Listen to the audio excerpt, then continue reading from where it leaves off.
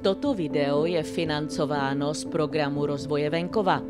Program je zaměřen na podporu konkurenceschopnosti zemědělství, udržitelné využití přírodních zdrojů, na opatření v oblasti klimatu a na vyvážený územní rozvoj venkovských oblastí.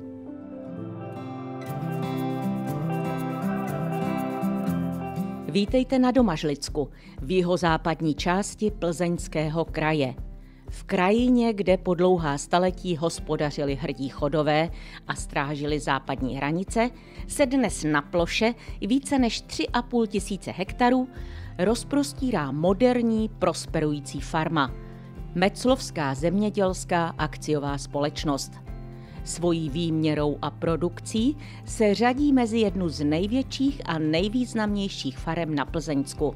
Společnost Meclovská zemědělská vznikla v roce 1996 transformací z původního zemědělského družstva Meclov. Zaměstnáváme zhruba 100 zaměstnanců. Roční obrat firmy se pohybuje okolo 30 milionů korun. Výkladní skříní společnosti je však chov mléčného skotu plemene Holštín. Odborné veřejnosti jsou určitě známá jména dojnic jako Fanatička, Litka nebo Ester, která získala celou řadu významných chovatelských ocenění.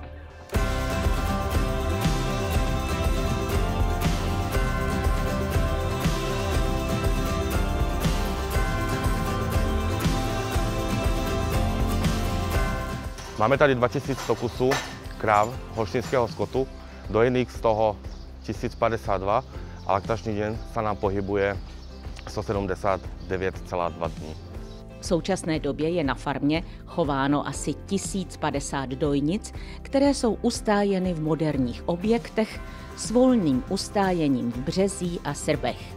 Chováme dojné krávy do holštinského skotu, Zabýváme se také rostlinovýrobou a v roce 2012 jsme spustili bioplynovou stanici v Meclově o výkonu 1,2 MW elektrické energie.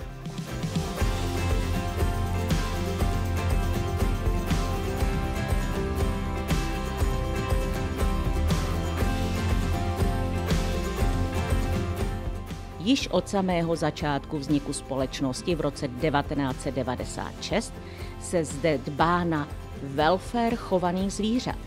Farma prošla celou řadu rekonstrukcí a modernizací, aby zajistila chovaným zvířatům co největší komfort.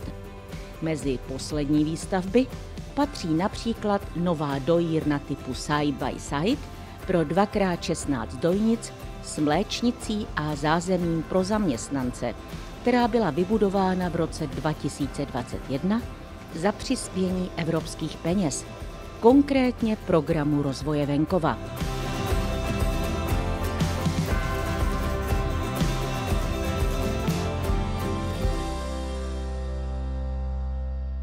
Máme tu 350 krav eh, holštinského plemene s průměrnou užitkovostí 10,5 tisíce na laktaci. Tahle ta stáj byla díky programu PRV rekonstruovaná. Celá meclovská zemědělská je koncipovaná hlavně na mlíko. Na pozemcích mezi Domažlicemi a Horšovským týnem pěstují klasické zemědělské plodiny, jako obiloviny, olejniny nebo kukuřici.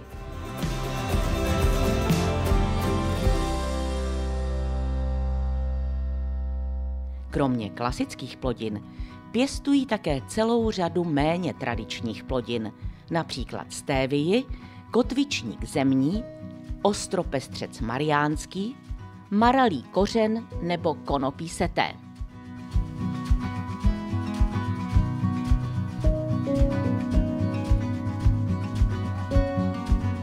Hospodaříme zhruba na 3,5 tisíce hektarech, z toho necelý 3 tisíce orná půda, zbytek trvalý travní porost. Máme zhruba 800 hektarů ozimé pšenice, 800 hektarů kukuřice.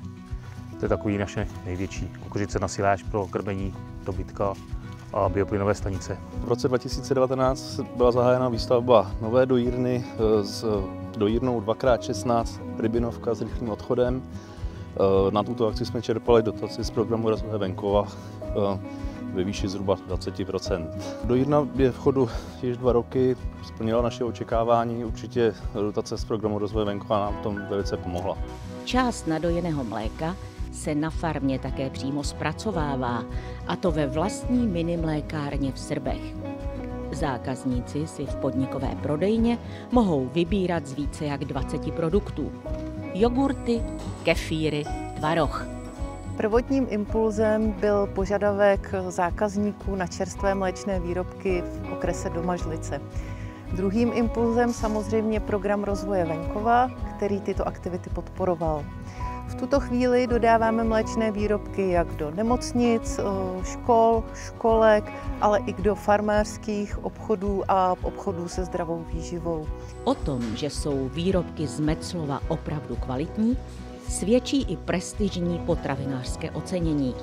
Regionální potravina Plzeňského kraje v kategorii mléčné výrobky ostatní. Na vzniku videa se podílela celostátní síť Provenkov, Úhlava, obecně prospěšná společnost a Meclovská zemědělská, akciová společnost.